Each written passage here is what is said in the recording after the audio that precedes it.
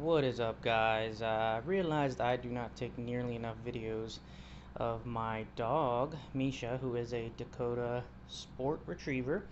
If you're unfamiliar with the breed, it is actually a Cocker Spaniel mixed with Golden Retriever.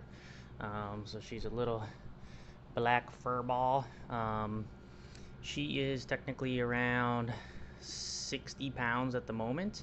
She had gotten up to about 85 at one point, but I had her on a nice, uh, basically human diet with some chicken and veggies, um, which is still what I feed her to this day.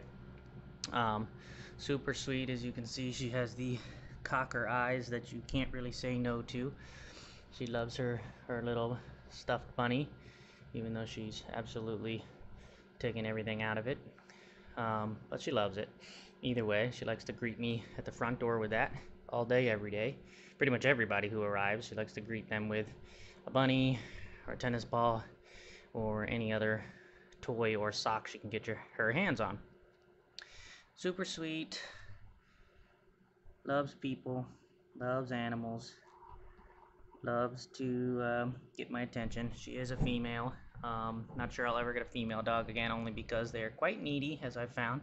Um, but it could just be her and her particular breed. Um, she does love tennis balls. She loves the water.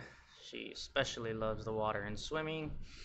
And she loves iguanas. So if you have iguanas or lizards, look, see, she even knows what a lizard is. Um, she absolutely loves them. So just know that in advance when you get yourself a little Dakota Sport Retriever. But super friendly, can't go wrong. She is Mischa. You can actually find her on Instagram if you want. It's going to be hashtag Mischa Matthews. That's M I S C H A Matthews, M A T T H E W S. I think she wants to say hello. You want to say hi, Mischa? Yeah? Say where the lizard's at, Mischa. She knows the lizards. She knows what the park is. She knows what the beach is. She knows what swimming is. Um, obviously, poop and pee. She's pretty good at that, so she knows commands pretty well. Um, but she does have some energy, and she is actually just turned five years old Christmas Eve. So um, if you're interested in getting yourself one, I did get mine um, online. Um, if you just search Dakota Sport Retriever, you should probably find the place. Um, she's a Tennessee baby.